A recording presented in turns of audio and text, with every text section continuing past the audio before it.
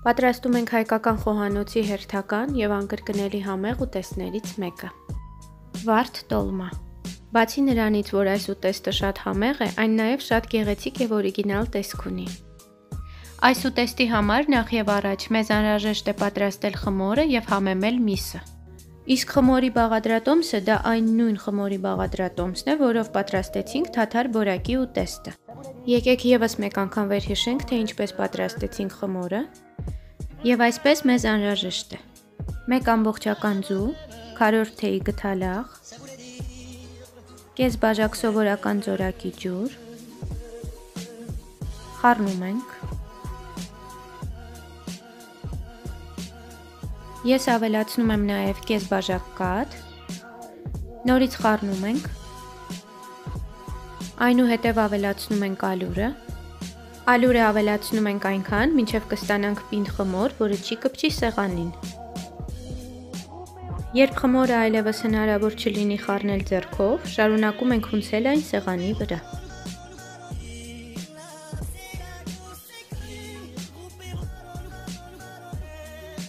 Հունցում ենք այնքան ժամանակ, մինչև ակտիվանա գլուտենը, այսինքն խմորը ձեռք բերի էլաստիկություն եւ այլևս չկպչի սեղանին։ Դնում ենք խմորը պոլիէթիլենային տոպրակի մեջ եւ թողնում մոտավորապես 30 րոպե, որպեսզի այն հանգստանա։ Այդ ընթացքում համեմում ենք միսը։ 800 գրամ աղացած տավարի մսին ավելացնում ենք 1 ամբողջական ձու, 1 փոքր չափսի սոխը մանր կտրատում ենք կամ աղում եւ ավելացնում մսի զանգվածին։ Ես նախընտրում եմ աղալ։ Այնուհետև 1 թեյի գթալաղ, 1 թեյի գթալ քաղցր կարմիր պղպեղ, կես թեյի գթալ սև պղպեղ և 1 լիքը ճաշի գթալ չոր ռեհան։ Ռեհանը կարող եք ավելացնել ավելի շատ կամ ավելի քիչ ըստ նախասիրության։ Այս ամենը խառնում ենք։ Ասեմ, որ այս անգամ օգտագործելու եմ մսի կեսը։ Մնացած կեսով պատրաստելու ենք մեկ այլ ուտեստ։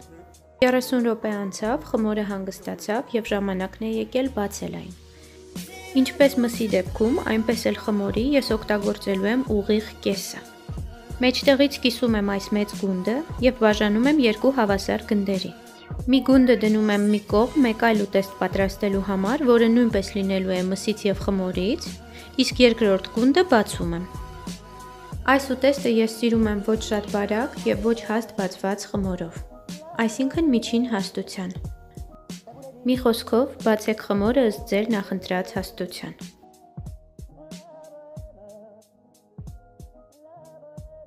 Խմորի վրա դնում ենք միսը, հավասար տարածելով այն խմորի մակերեսով։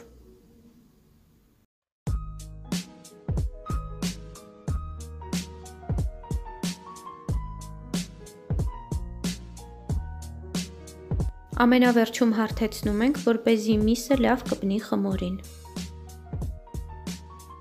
Հարթեցնելուց հետո խմորի մի ծայրից վեր ենք բարձրացնում եւ ոլորում ենք։ Կամ այլ կերպ ասած, ռուլետի նման փաթաթում։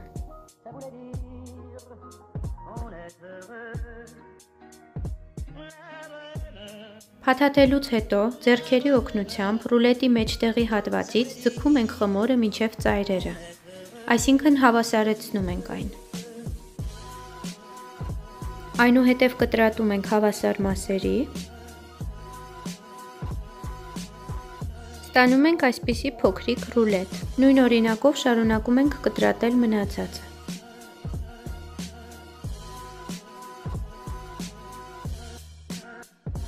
Որպեսզի ստանանք վարդի տեսք, այս ռուլետի մի կողմից մոտեցնում ենք խմորի ծայրերը իրար եւ փակում ենք։ Կամ այլ կերպ ասած փնջի նման հավաքում ենք այ այսպես ստանալով վարդի տեսք։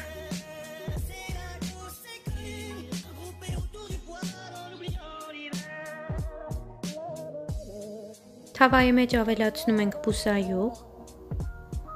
մանր կտրատած մեկ գլուխ սոխ, եփում ենք 2-3 րոպե, մինչև սոխի գույնը բացվի,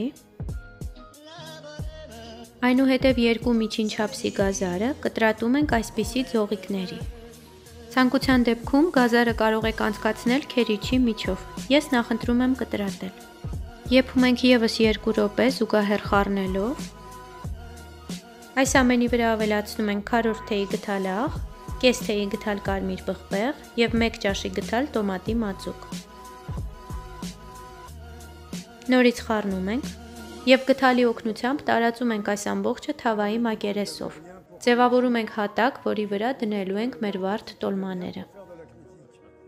Հիմա ես կպատրաստեմ փոքր չափաբաժին, իսկ մեծ չափաբաժին պատրաստելու դեպքում կարող եք տոլմաները շարել կողք կողքի իրար շատ մոտ եւ եփել այդպես։ Իրենց տեսքը դրանից չի փչանա։ Կողքից զգուշությամբ ավելացնում ենք եռացրած ջուր։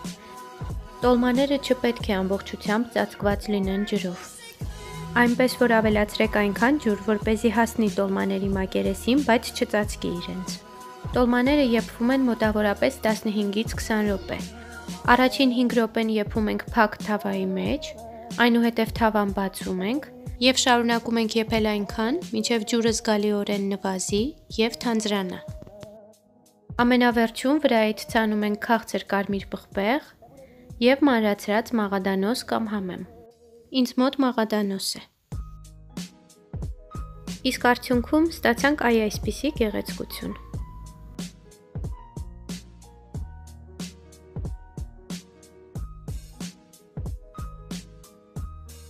հայ ժողովրդի կողմից ստեղծված հերթական գլուխգործոցը։ Իսկ համի մասին խոսելն ավելորդ է։